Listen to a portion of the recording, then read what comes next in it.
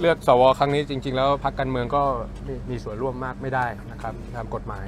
แต่ว่าทางของเราก็ใช้กรรมาธิการนะครับที่เป็นส่วนร่วมของรัฐสภาในการดูแล โดยที่มีคุณ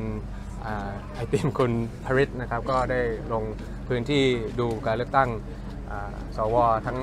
ตั้งแต่น่าจะอำเภอมาจนถึงจังหวัดใช่ไหมครับแล้วก็เดี๋ยวก็คงจะในระดับประเทศ ก็คงจะใช้กลไกนั้นในการตรวจสอบดูแลต่อไปว่าที่เป็นข่าวลือนั้นเป็นเป็นจริงหรือไม่ แต่ว่าในหลักการแล้วผมก็คิดว่าเราน่าจะได้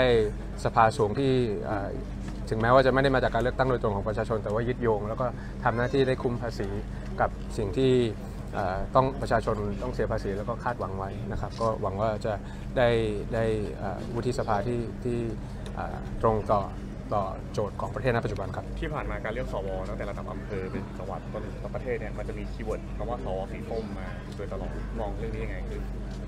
ผมก็คิดว่าไม่เราไม่ไม่จะเป็นที่จะต้องเติมนามสกุลให้ให้ใครโดยการไปป้ายสีหรืออะไรอย่างนั้นผมก็คิดว่าแต่ละคนก็มี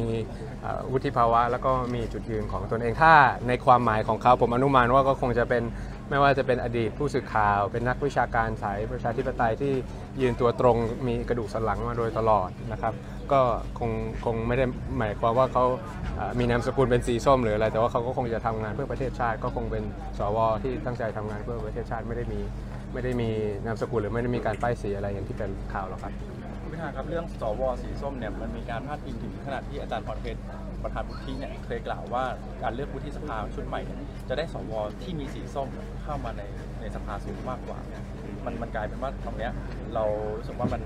เรียกไงมันมันเป็นวาทกรรมหรือว่ามันเป็นคำพูดที่อันนี้ขอทวนคำถามนิดนึงท่านพูดเมื่อไหร่นะครับ ผมก็เอ่อตามดูอยู่ว่าอย่างอาเช่นตอนที่มีถ่ายรูปมีอะไรอย่างนี้ถ่ายรูปครับท่านได้พูดใช่ไหมอ๋อครับก็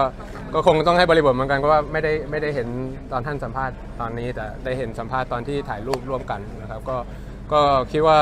ยังคงเอ่อคำตอบเดิมอย่างที่ตอบผู้สื่อข่าวว่าก็คง